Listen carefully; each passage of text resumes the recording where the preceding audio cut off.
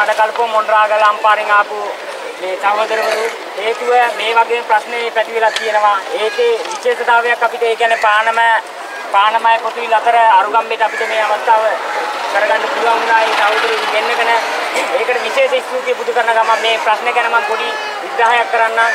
දීවරයින්ට දීවර රැකියාව කරන්න බෑ. ඒ තෙල් කාඩ් එකක් දෙනවා කියලා මුලාවක් කරලා ඒ තෙල් කාඩ් එක නවත්තලා තිනවා. ඒකම චීන ඉන්දියාව වගේ සමාගම් වලට මූදේ වසුන් අල්ලන්න අවස්ථාව දීලා තියෙන ඒ නිසා සුළුපන්න ත්‍රිවිරය අසරණ වෙලා තිනවා.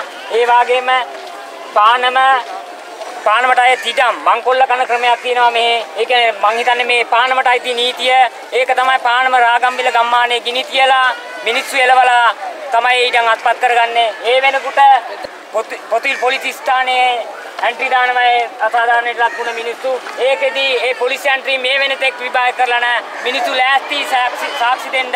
ඒ සාක්ෂි ටික තාමත් ලබා ගන්නක් කැමති නැහැ පොලිසිය. ඇන්ට්‍රි විභාග කරන්නක් කැමති නැහැ. ඒකම රටේ ප්‍රජාතන්ත්‍රවාදය මානවික කඩවීම ගැන කතා කරනවා. මානවික කඩවීම වෙනවා. ඒක ඒ මානවික කඩවීම වීමේදී මානවික කොමිෂන් සභාවෙන් නිර්දේශ ලබා දෙනවා. මේ නිර්දේශ මේ ලංකා ආණ්ඩුව ක්‍රියාත්මක කරන ඒකට හේතුව තමයි පානම ඉඩම් මංකොල්ලයට දුන්න නිර්දේශය මේ අවුරුදු 3මාර දැන් අවුරුදු 4ක ඉක්වෙන්න එනවා.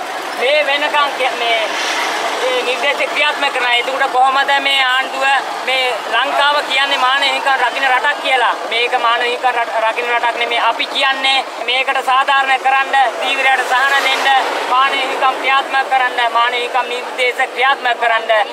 ඒකම පොලිසියේ මහජන මිත්‍ර සීවි පොලිසියක් දිලා බෝඩෙන් නම් අපි දකිනවා. අපි දාපු ඇන්ට්‍රි අවුරුදු 3මාරට වැඩි. දැන් තාමත්ම ක්‍රියාත්මක නැහැ. ඒ ඇන්ට්‍රි විභාග කරන්න. ඒතර කොහොමද මහජන මිත්‍රශීලී පොලිසියේ වැඩ කියලා ඔප්පු වෙනවා. අපි ආණ්ඩුවට අතුකර ජනාධිපතිතුමාට කියනවා මේ මේ මේ මානවික නිර්දේශ පොලිසිය දාපු ඇන්ට්‍රි ටික විභාග කරලා සාධාරණයක් ඉෂ්ට කරන්න අනිත් එක ඒ ගම්මානයේ ගිනි තියලා එලවලා තියෙනවා. ඒ ගම්මානයේ දැනට උසාවි කීපයකට නඩු කටයුතු යනවා. ඒ තියෙද්දි ගුවන් හමුදාව විසින් ඉදිකිරීම කරනවා. මේක සාධාරණද? මේක තමයි මේ අපේ සාමාන්‍ය මිනිසුන්ට ලැබිලා තියෙන ප්‍රජාතන්ත්‍රවාදය. මේ ප්‍රජාතන්ත්‍රවාදය නම් ඕනේ නැහැ.